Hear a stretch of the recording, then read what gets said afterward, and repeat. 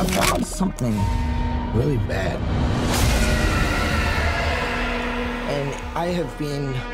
Eddie. Who's that bad? Who's that bad? Taken. Um, I haven't been offered many superhero roles, to, to, to be to be honest.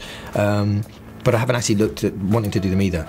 Um, apart from I've been really lucky to do Bane uh, with Chris Nolan, so that that was kind of the end of that uh, in many ways. And Mad Max was something which was of its own uh, in. Um, in a similar world for me as, as the kind of um, um, fantasy genre characters larger than life.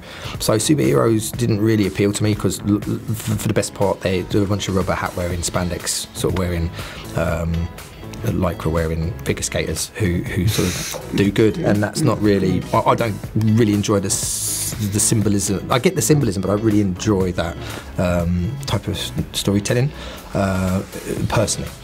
But I subsequently have been father now for 10 years, and they, I, the resonance of superhero movies to, to my children has profoundly changed the way that I see uh, the genre. Uh, and actually, I'm now much more, not just sympathetic, but I've been drawn into it.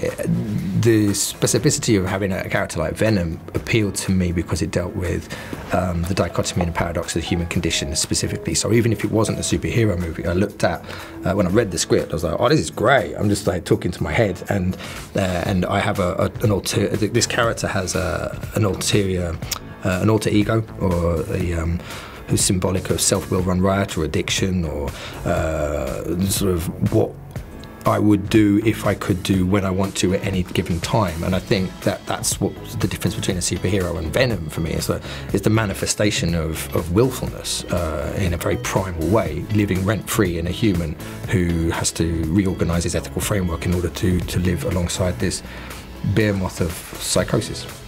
Um, yeah, but you know, the thing is, when you're playing um, someone who is billed as a villain, you don't see them as a villain yourself. You know, I don't think my character is a bad guy.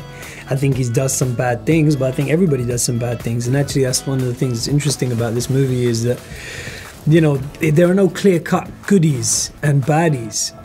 you know, there's uh, obviously we're rooting for Venom, we should do, but. Um, he isn't exactly great. Yeah, Eddie Brock is someone with a questionable kind of moral track record, and, and so is my character. And they're both kind of doing their version of what they think is good, you know.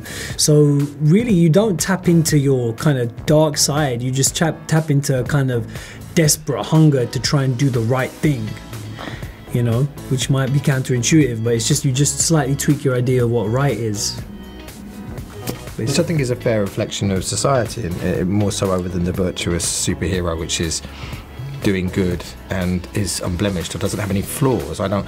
I think fundamentally human beings, what makes them so interesting and and, and for want of a better word, beautiful, is that they they're imperfections. They're, they they the, the paradox of the human condition. Ultimately, we're all flawed, rather than it being a monster or a demon within us. Mm.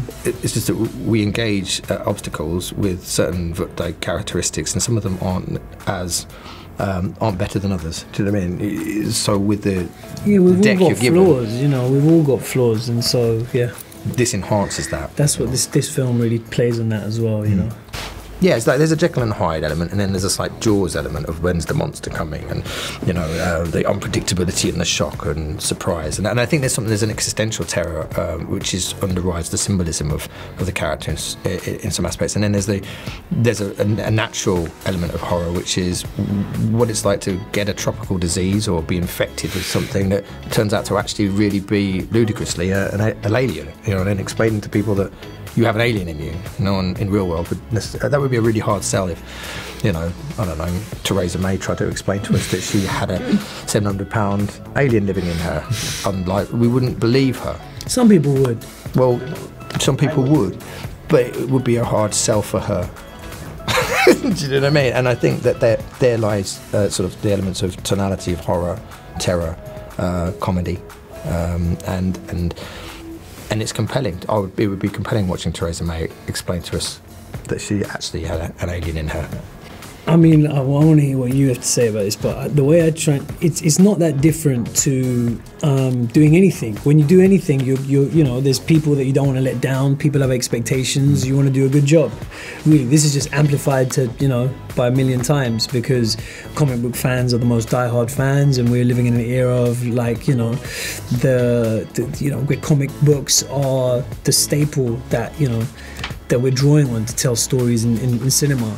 So for me, I think you just have to kind of, you know, respect the legacy, respect the inheritance, and this film does that. You know, it's based on some, uh, you know, core comic book storylines, which is the Lethal Protector and Planet of the Symbiotes. So we've respected that, we've done that.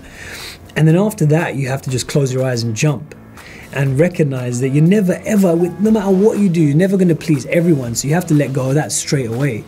But as long as you go in it go into it with good intentions you give it 110% that's all you can do. And having seen the film myself yesterday, I feel really, really confident that people are going to respond to it because um, Venom is insane. awesome. You know that character is insane, and what Tom does with that character in terms of infusing it with that humanity and comedy as well, and the physicality of the role, you know, which Tom is, is you know can, can do in a way that's just I mean, look, just wait, wait till you see it, man. So I think people are going to be into it personally. I, I, think so too, and I think you're absolutely right. Is that you can't, on, on, the one hand, you have to care enough to not care what people think when you're when you're in the middle of the bed trying to trying to create something. Yeah. Uh, if, if we obviously massively care about everybody's opinion, not just die-hard fans, but also you've got to break a bit of new ground and diversify and bring more people into and and and play and create new stuff.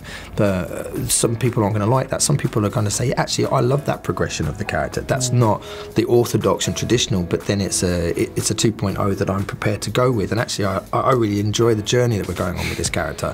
Some people go, no, it's not for me. I'm, I'm a traditionalist, and that's okay too. But the main thing is, is that do you recognise your Venom there? You know, to the hardcore fans, I think we, we we've worked extremely hard across all, all, all, the departments to to deliver the the, the, icon, the, iconic character of Venom. And yeah, he's deconstructed in part with this, there's a whole Spider-Man missing, you know. Mm. But that doesn't mean that that's a that's a problem to to people who don't have a problem with. It.